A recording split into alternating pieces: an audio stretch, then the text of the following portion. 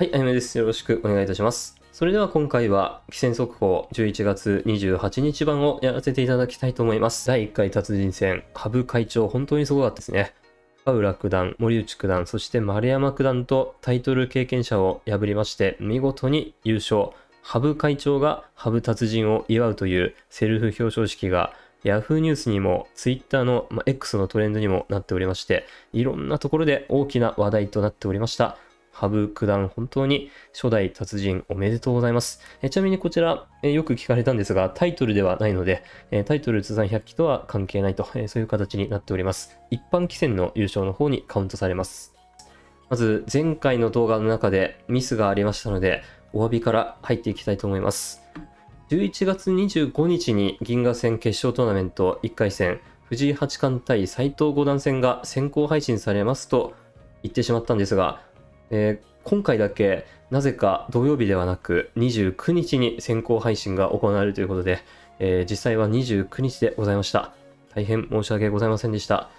29日に先行配信、そして30日に囲碁将棋チャンネルのテレビの方で本放送が行われると、えーそういったスケジュールになっております。そして斎藤五段に勝ちますと、おそらく12月中に、銀河戦決勝トーナメント2回戦、こちら千田七段との対局が決まりました。後ほどまたトーナメント表をご覧いただきたいと思いますが、銀河戦は例年、だいたい年内に決勝まで終わりますんで、もし藤井八冠が勝ち進んでいると、12月中旬、そして12月下旬に準決勝、決勝と行われる、そういった運びとなります。まあ、11月19日の JT 杯で、収録以外の年内対局、藤井八冠終わってしまいましたんで、えー藤井ロスという言葉が聞かれておりますが、銀河戦次第では、えー12月も楽しめると、えーそういう形になりそうです。えそして NHK 杯戦、12月に放送されると思われておりましたが、え12月中の予定が埋まってしまいましたんで、おそらく来年1月の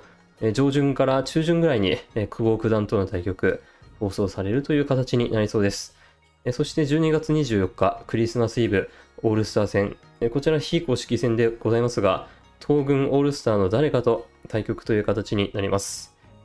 ちょうどこちらですね、えー東軍、羽生九段、渡辺九段、永瀬九段、青島六段、野月八段、増田七段と、えーそうそうたるメンバー揃ってますが、この中の誰かと藤井八冠が対戦すると、えーそういった形になってまいります。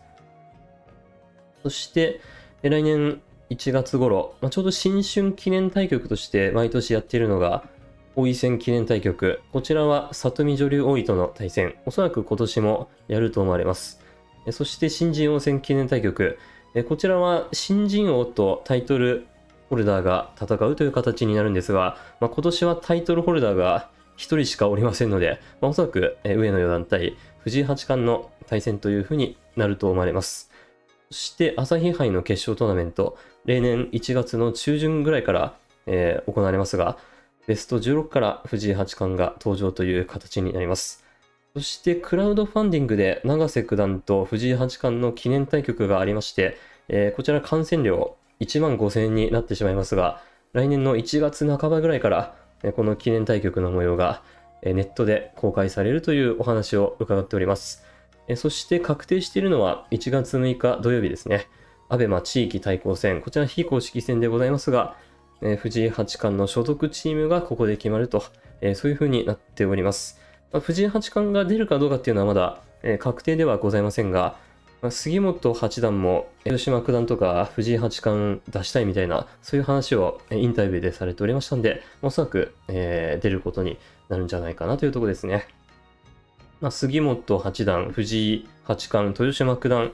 が同じチームになると、えーそういう可能性もございます。地域対抗戦の地域別のメンバーについてはまた後日発表あると思いますんで、えー関東 A とか関東 B とか、えー誰がどこに所属になるのか、えーこの辺すべて定まりましたらまたその予想動画出していきたいと思います。ということで、こちらですね、え1枚目が終わりまして、次は2枚目。1月7日、8日、えー王将戦第1局、菅井八段との対戦が決まりました。菅井八段は王将リーグ素晴らしい成績で駆け抜けて、え見事に単独優勝を果たしました。最後、永瀬九段が佐々木勇気八段に勝てば5勝1敗のプレーオフとなっておりましたが、敗れたため、菅井八段の単独優勝、え藤井王将に挑戦決定が、と決定ということになりました。羽生九段が2位で残留、永瀬九段が3位で残留、え近藤七段は4位で残留、えそしてなんと、豊島九段と渡辺九段という名人経験者2人、さらに佐々木勇気八段、A 級の3人が落ちるという、えー、衝撃的なリーグとなりました。本当に恐ろしいリーグですね。えー、ということで、少し戻りまして、王将戦が1月行われまして、そして2月上旬、棋王戦第1局、えー、おそらく組まれると思われます。挑戦者はまだ未定ですが、すでに4名まで絞り込まれております。それがこちらですね。えー、広瀬九段対本田六段で、えー、勝者組の決勝が行われまして、えー、そして敗者復活からは豊島九段対伊藤匠七段の勝者が、え、広瀬本田戦の敗者と戦いまして、え、敗者復活からの勝ち上がり者対、え、この勝者組の優勝者で変則2番勝負が行われます。このトーナメントの優勝者に1勝のアドバンテージが与えられまして、えー、敗者組からの勝ち上がり者は2連勝すれば、えー、藤井清王に挑戦ということになります。ちょうど藤井清王が去年この豊島九段や伊藤匠七段の位置から4連勝して、敗者復活から勝ち上がって、見事に渡辺清に挑戦、えー、そして3勝1敗でダッシュという形になっておりました。ということで、藤井八冠のスケジュール、おおよそ定まってまいりましたが、果たして最高勝率記録なるかどうか、その辺も注目ですね。また藤井八冠の銀河戦決勝トーナメント、こちらになっております。まず、斎藤五段と11月29日に戦いが行われまして、勝てば次は千田七段との対局です。で千田七段に勝てば、え杉本、渡辺戦の勝者と戦いまして、えそれに勝てば決勝戦進出。で決勝の相手は、えー、永瀬九段対えー、坂口伊藤戦の勝者、そして渡辺丸山戦の勝者と、えー、この辺りから出てくるということですね。まあ、右の山本当に強いメンバー揃っておりますので、誰が来るか分かりませんが、藤井八冠連覇なるかどうか注目でございます。GT 杯も先日こちら優勝しておりますので、藤井八冠が中原16世名人の記録を更新するためには、えー、残りですね、グランドスラム達成して、なおかつ3敗以内、えもしくは2敗以内、今季2敗以内で終えると。えそうすれば、ほぼ更新確実と見られておりますが、まだ王将戦や棋王戦の防衛戦ですとか、あとは銀河戦、朝日杯、そして NHK 杯残っておりますので、まあ、かなり難しい記録にはなると思いますが、なんとか中原16世名人の記録、えここまで来たら更新してほしいなと願っております。中原16世名人の記録は8割5分5厘ですが、藤井八冠は今8割5分7厘、えー、それを上回るペースで来ているというところですね。えー、ここからキープするためには6勝1敗ペースが必要になるという非常に厳しい条件ではございますが、えー、なんとか藤井八冠、歴代最高勝率記録を達成して、八冠に花を添えてほしいなと願っております。現在10連勝中、佐々木七段の記録まであと5連勝、えー、そして、2位の八代師団と、えー、大きく差がついておりますので、勝率1位記録もこのままいけば濃厚という形になっております。それにしても今回は本当に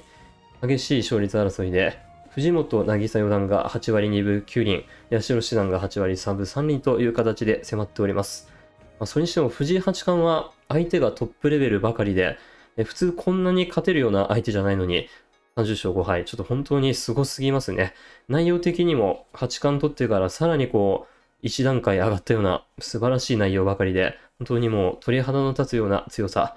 継続しております。ということで、JT 銀河と見ていきましたんで、グランドスラム3つ目、朝日杯見ていきたいと思います。藤井八冠は本戦シードでベスト16からの登場となります。高見師団や及川師団、そして久保九段が二次予選突破を決めておりますので、えー、この辺りの誰かと当たるという可能性もあります。朝日杯は基本的にシード者と二次予選からの勝ち上がり者が1回戦で当たりますんで、まあ、高見師団、及川師団、久保九段、えー、誰かと当たってもおかしくないというところですね。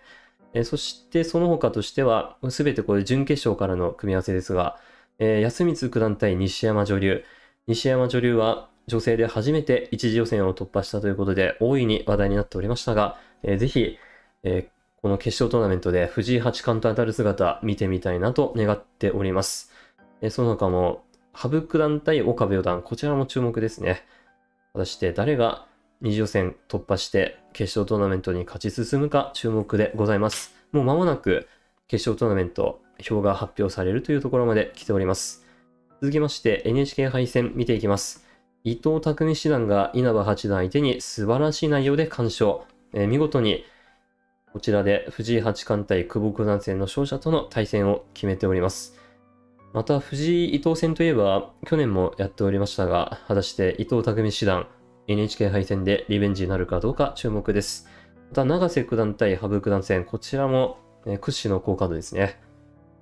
そして菅井八段対中村太一八段戦、えこの辺も注目でございます。そして B ブロックの方は、佐々木八段対小森五段、渡辺九段対天彦九段、えー増田七段対斎藤八段、え谷川十七世名人対八代七段と、えこちらも好カードが続々続いているという形になりました。続きまして、竜王戦の1組から6組のトーナメント表が発表されました。え本日発表されたばかりということで、1組しかまとめきれておりませんが、また後日6組まで全てまとめていきたいと思いますんで、よろしくお願いいたします。稲葉八段対森内九段、山崎八段対松尾八段、えー丸山九段対渡辺九段、えー久保九段対羽生九段、えーこういったカードになりました。そして、永瀬九段対安光九段、えー豊島九段対広瀬九段、木村九段対隣七段、えーそして、えー今回ちょっと伊藤匠七段が5組からいきなりジャンプアップしてきた関係で、本来16名の1組が1人増えて17名となっております。えーということで、えー斎藤八段対菅井八段戦が、まあ、ちょっとこちらに、えーどちらかの勝者が伊藤匠七段と当たるという形になっております。伊藤七段は連続挑戦になるかどうか、こちらも注目ですね。また1組今回は、えー高級が5名と、普段は4名なんですが、今回だけ5名と、そういう形になりました。ということで、続きまして A 級順位戦見ていきたいと思います。豊島九段が5勝0敗と首位を快走中。え滝戦ではちょっと最近黒星が増えてきてしまいましたが、A 級順位戦では絶好調となっています。菅井八段が4勝1敗。果たしてここから逆転して、王将に続いて名人も挑戦決められるかどうか注目ですね。やはりこの9回戦菅井豊島戦が大きな一番となりそうです。また裏の大一番としては、やはり1勝4敗同士の広瀬九段と天彦九段が次に当たっておりますので、まあ、どちらが、えー勝つか生きのり生き残りをかけた戦いとなりそうです。続きまして B 級1組見ていきます。えー増田七段が千田七段に勝って7勝1敗で首位独走。3位の沢田七段に2勝差つけておりますので、A 級昇級に向けてかなり有利な状況となってまいりました。糸谷八段も順位が1位で、えーしかも1勝差つけておりますので、極めて有利なポジションとなっております。まあこのまま逃げ切りになるかどうか注目ですね。で羽生九段も6位で5勝3敗と、全体順位4位ですので、まだまだ A 級昇級に向けて、チャンスありとなっております。11回戦の千田七段戦、そして12回戦の糸谷八段戦、この直接対決まだ残ってますんで、羽生九段も十分可能性がありそうです。続きまして B 級1組見ていきます。えーこちらは好調の大石七段が全勝の戸部七段に土をつけまして、えー5勝1敗が3名、えー4名並ぶという大混戦となりました。誰が昇級するか注目ですね。えー高見七段も順位が7位で4勝2敗といいポジションにつけておりますので、逆転昇級の可能性十分残す、そういう展開となっております。続きまして B 級2組見ていきたいと思います。好調の大石七段が全勝の戸部七段に土をつけまして、これで戸部七段、大石七段、深浦九段、石井六段の4名が5勝1敗で並ぶ大混戦となりました。高見七段は谷川17世名人に勝ちまして、えー5位で順位も7位と非常にいいポジションにつけているという状況でございます。昇級枠は3名。果たして最終的に昇級するのが誰になるのか注目でございます。そして C 級1組、えーこちらは服部六段と古賀五段が6勝0敗で、えー全勝キープ。都成七段は敗れましたが、まだギリギリ昇級圏内となっています。西田五段、斎藤五段も5勝1敗、えーそして早々と2敗を喫した伊藤匠七段は連勝でじわりと順位を上げるという展開になりました。果たして誰が、どの3名が昇級するのか注目ですね。えーそして C 級2組、えーこちら富田四段が唯一全勝、えー佐々木七段、徳田四段が昇級圏内ですが、5勝1敗が本当にたくさんおりますので、えーさらに、えー現在全勝、現在5勝1敗同士の潰し合いも本当にたくさんありますので、えー誰が、え昇級するか全く読めない展開となっております。続きまして、棋聖戦二次予選、え決勝進出者見ていきたいと思います。2組は屋敷九段が決勝進出、え3組は中村太一八段、4組は藤井猛九段対青島六段の決勝となりました。5組は三浦九段が決勝進出、8組は松尾八段、そして9組は豊島九段を破った畠山八段が井上九段との決勝に駒を進めました。10組は久保九段、11組は大橋七段が決勝進出という形になっています。シードは渡辺九段、永瀬九段、佐々木大地七段、佐々木勇気八段の佐々木コンビとなりました。続きまして、ですね、えーオールスター戦は、東軍は先ほどご紹介いたしましたんで、西軍、藤井八冠、豊島九段、菅井八段、山崎八段、稲葉八段、久保九段という、えそうそうたるメンバーとなっています。4名が A 級ということで、西軍非常に手厚いですが、まあ、東軍も羽生九段、渡辺九段、永瀬九段のこの最強トリオがおりますので、えーどちらが勝つか全くわからない、そういう展開になっています。続きまして、じゃあですね、女流タイトル棋戦概要を見ていきたいと思います。女流名人戦は、内山女流と里見女流が7勝2敗でプレーオフを戦うという非常に熱い展開となりました。まどちらが、え勝つか本当に注目ですね。そして、女流王座戦現在進行中で、里見女流王座が2勝0敗と加藤挑戦者をリード。第3局は12月5日に行われます。今、里見女流四冠と西山女流四冠がタイトルを4つずつ分けるという形になっておりますが、そこに内山女流が割って入れるかどうか、加藤女流が大逆転で割って入れるかどうか、その辺が注目でございます。続きまして三段リーグ、こちらは中学生棋士誕生なるかどうか見ていきたいと思いますが、山下三段と、えー住崎三段が今15歳、最後の中学生棋士のチャンスとなっております。山下三段は辞典を1つ持っておりまして、現在4勝2敗で5位につけておりますので、あと2つ順位を上げて終われれば、えフリークラスで編入と、そういう可能性も残されております。え中三段と住崎三段は現在3勝3敗、え少し苦しい出だしとはなっておりますが、ここから逆転なるかどうか注目ですね。えー住崎三段と山下三段は中学生棋士の可能性が、え中三段は女性初の四段昇段の可能性が残されていると、そういう戦いになっております。続きまして、八大棋戦概要を見ていきたいと思います。えこちらは、王将戦、菅井八段が5勝1敗でリーグ単独優勝、挑戦決定、7番勝負の日程も決定となっております。そして、棋王戦は広瀬八段対本田六段で勝者組決勝、え豊島九段対伊藤匠七段で敗者復活が行われるという形になりました。また、え新人王戦は上野四段が2勝1敗で藤本四段を倒し決着。広瀬八段は昇段後250勝達成で九段昇段を決めているという形になっております。ということで、直近の注目対局をお伝えしまして、今回終わりにしたいと思います。11月29日水曜日、朝日杯予選準決勝と決勝、準決勝、野月八段対佐々木勇気八段、中村太一八段対、中村良介六段という中村対決、それぞれの勝者がその当日中に決勝を行うという形になります。女流名人戦リーグプレーオフ、えー勝った方が西山女流名人に挑戦、えー里見女流対内山女流、えーそして銀河戦決勝トーナメント先行配信、こちら夜8時からですね、藤井八冠対斎藤明日斗五段戦が囲碁将棋プラスで放送されます。囲碁将棋チャンネルの方では30日に放送されます。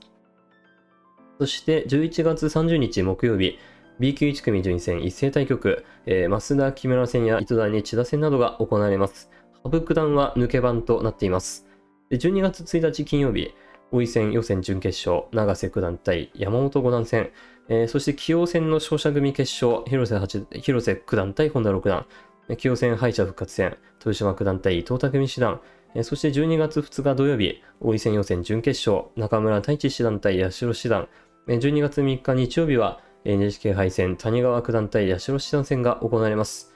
12月4日月曜日は、王位戦予選準決勝、藤本渚四段対井田四段戦が行われると、えーそういう形になっております。ということで、ここまでご視聴いただきまして本当にありがとうございました。この動画がいいなと思ってくださった方は、ぜひ高評価、チャンネル登録よろしくお願いいたします。それでは失礼いたします。